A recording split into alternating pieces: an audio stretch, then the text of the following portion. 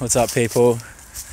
I'm going for a walk through this beautiful forest in Mullumbimby. It's a really warm, sunny Saturday morning in the middle of winter. You wouldn't really believe it.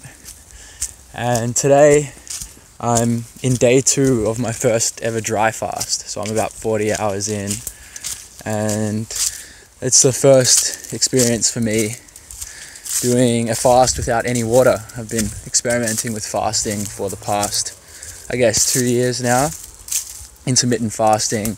I've done a couple of two days fast, two day fast, but I've never really pushed it any longer than that. And recently I've been reading into and watching videos about people doing dry fasting, which is no food, no liquid for a certain period of time. Usually it's 24 hours to 48 hours and I woke up on Friday morning and just felt that I wanted to fast for a little while. I wanted to do a three day fast.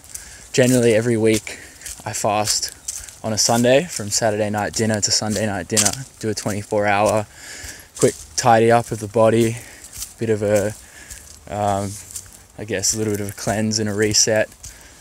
And this week I decided I wanted to just push it a bit further, go from Thursday night to Sunday night, three days and waking up that Friday morning, it just felt right to maybe try dry fasting. So the first 24 hours went super easy.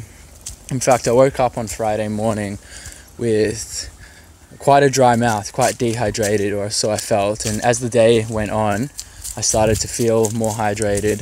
I felt more saliva coming into my mouth, and not really much thirst or hunger. I guess I've been doing it a while, so uh, I don't feel the hunger too intense usually. Sometimes it comes, but usually just 24 hours isn't too much to, to deal with. And I'm not sure how long I'm going to do the dry fast. At first, I thought just 24 hours and I'd drink today, but I'm feeling good today as well. So I might push the dry fast all the way to 72 hours till three days till Sunday night, and then maybe break it with some coconut water. Uh, to people who haven't heard about fasting or dry fasting for that matter, it might sound dangerous or crazy uh, or harmful to your body, but there's a lot of science behind it. There's a lot of research and a lot of people doing their own experimentation in their own bodies, which I've been doing with intermittent fasting and water fasting for quite a while. And when you dig deeper into it, basically the body has a pretty incredible ability to survive and to maintain a balanced homeostasis, a balanced state of hydration, of fuel. And so this is just tapping into our natural reserves and all the systems and mechanisms our body has in place and have has had in place for thousands of years to get us through difficult situations, times of famine, times of searching for food. And in essence, what you're doing is tapping into the stores of fuel already in your body. And something I've learned recently by watching some videos on dry fasting and just fasting in general is that a metabolic byproduct of burning the stored fuel in our body, whether that be glycogen, which is stored form of sugar, or whether that be fats um, from the stored body fat. So, a metabolic byproduct of that process of turning that stored fuel into energy is actually pure water, pure H2O, which explains why the body can remain hydrated and survive for quite a significant period of time without any input whatsoever.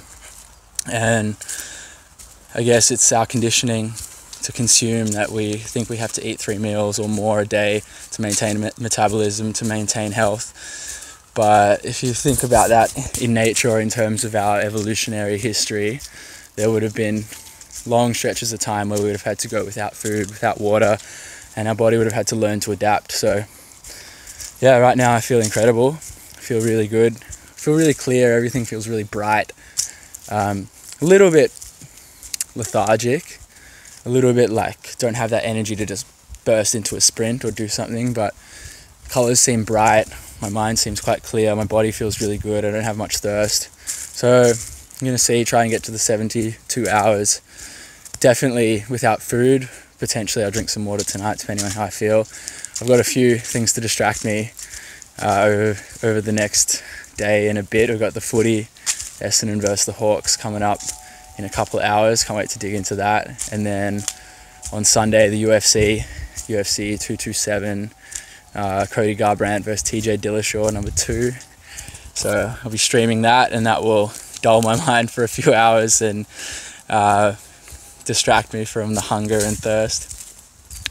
And I took some photos yesterday, uh, and I'll take some more photos today just to see the change in my body in those few days. I'm not doing it for weight loss or to get lean or for anything like that, more just for mental clarity and for health and just really experimentation and seeing what the capabilities of my body are. And yeah, just to learn a little bit more. So um, I'll have a record of that and we'll see. From what I've seen, people lose tremendous amounts of, uh, of water weight and gut weight and obviously like muscle glycogen and liver glycogen deplete, which is like our immediate source of fuel. So once that's gone, we start tapping into fat, and that at least uh, uh, accounts for um, maybe a couple of kilos of body weight. So when you fast, all that comes off, and a lot of it will come back on straight away. But it's just an interesting experiment to see um, what my body does under these circumstances.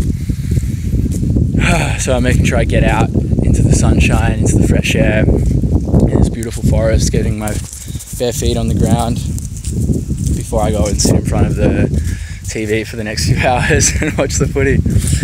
Anyway, cool. I think I'll post this to Facebook.